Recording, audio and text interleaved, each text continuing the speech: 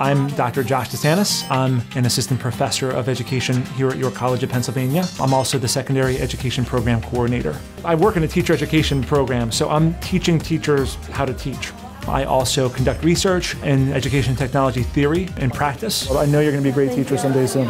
Thank you for being my teacher. Oh, you're welcome. I had great teachers in my life that inspired me uh, and really made a difference for me. And so I always wanted to be that for someone else. I am so pleased with your technology demonstrations. You did a fantastic job. When I'm leading my students and telling them how important it is to use technology, I have to be authentic. Otherwise, they're not really going to listen to what I have to say. They're not going to see the, the positive benefits. So I'm staying up to date with the current tools that are being used in primary and secondary classrooms. And here, as a professor, I'm able to conduct research. So I'm really interested in how technologies affect learning. And then I'm bringing them into my instruction in the classroom. So one of the things that we saw this afternoon was a game that students played and that pushed out the questions to their devices, in kind of like a Jeopardy style approach that built on their competition. But that's one of lots of different tools that I use.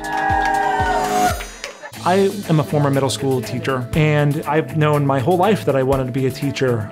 My first few months in the classroom were really a challenge, and I wrote a letter to one of those teachers that inspired me. And she said, just one word of advice find something to like in every student and make sure you let them know what that is. So that was a really transformative moment for me, and it's where I pivoted and really began to feel at home in the classroom. It's a value that infuses everything that I, that I do.